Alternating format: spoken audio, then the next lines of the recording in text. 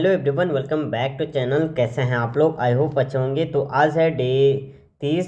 कल हमने कवर किया था डे उनतीस। तो चलिए शुरू करते हैं। और आज है फिर से previous year exam question paper के हमारे पास हैं बीस एम तो चलिए शुरू करते हैं।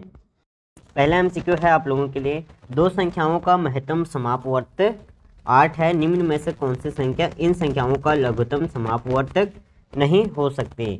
ऑप्शन नंबर ए है अड़तालीस, चौबीस छप्पन और साठ। तो आपका इसमें जो सही आंसर है वो है ऑप्शन नंबर डी, साठ। ओके, यहाँ पे आपको आंसर भी दिख रहे होंगे तो आप हमारे साथ ग्रुप में जुड़ सकते हैं।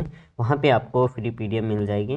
नेक्स्ट है, यदि ए का वेतन बी के वेतन से 25 प्रतिशत अधिक है तो बी का वेतन ए के वेतन से कितना प्रतिशत कम है? 25 प्रतिशत, तीस प्रतिशत, पैंतीस प्रतिशत बीस प्रतिशत तो सही आंसर है ऑप्शन डी बीस प्रतिशत।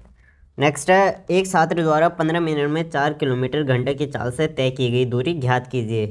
डेढ़ किलोमीटर, दो किलोमीटर, एक किलोमीटर, इनमें से कोई नहीं। तो सही आंसर है एक एक kilometre option number C next है, दो संख्याओं का अंतर, इन दोनों संख्याओं के योग का वन डेट है, इनका अनुपात होगा। सात अनुपात नौ चार अनुपात सात नौ अनुपात सात आठ अनुपात एक। तो सही आंसर है ऑप्शन सी नौ अनुपात सात। नेक्स्ट है जौलजीवी मेला नदियों के समागम केंद्र पर आयोजित होता है यानी जौलजीवी जो मेला लगता है वो किन आ, किन नदियों के बीच में लगता है या केंद्र में लगता है? तो काली एवं भागीरथी अलकनंदा एवं भागीरथी काली एवं गौरी काली एवं अलकनंदा। ऑप्शन नंबर सी सही आंसर है काली एवं गौरी। नेक्स्ट है आपका ज्ञानपीठ पुरस्कार से सम्मानित किस साहित्यकार की वर्ष 2016 में 16 में मृत्यु हुई? Mahadevi Verma, Mahasweta Devi, Nirmal Verma, Vimal Mitra. Option number B आपका सही आंसर है इसमें, महाश्वेता देवी। नेक्स्ट है, अस्कोट अराकोट किसके द्वारा संचालित होता है? भारत सरकार, यूनेस्को, पहाड़ संस्थान, कोमाऊ मंडल। पहाड़ संस्थान द्वारा होता है अस्कोट अराकोट पहाड़ संस्थान द्वारा पहाड़ संस्थान द्वारा संचालित होता है।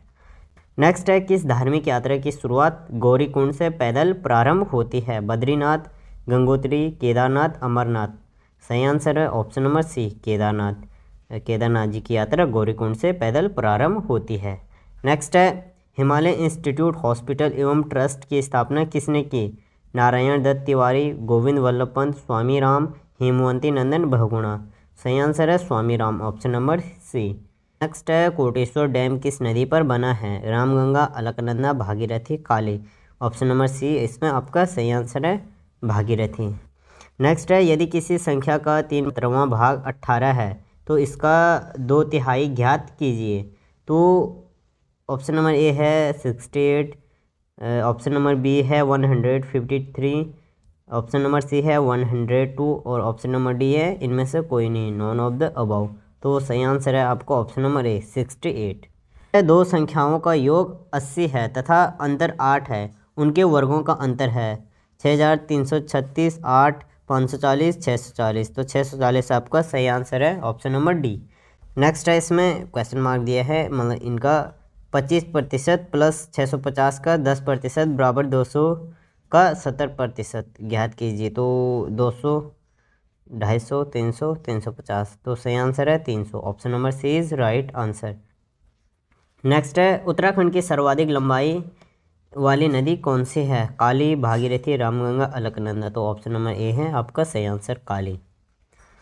नेक्स्ट है आपका, नेक्स्ट है, रिंगाल का उपयोग किया जाता है चूड़ियों में, कंबल में मोती, दाना में काली कटोरा टोकरी में। तो सही आंसर है ऑप्शन नंबर डी कालीन कटोरा और टोकरी में। नेक्स्ट है आपका, उत्तराखंड की निम्न में से किस समुदाय में सर्वाधिक साक्षरता दर है? Boksa Raji, Bhotia, Jaunsari. Option number C आपका इसमें सही आंसर है भोटिया।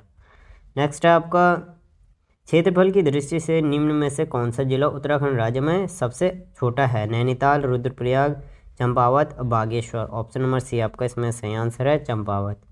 नेक्स्ट है आपका, उत्तराखंड में सर्वाधिक नगरीकृत जनपद कौन सा है? Haridwar, Nainital US Nagar, Dehradun. Option number D आपका इसमें सही आंसर है, देहरादून।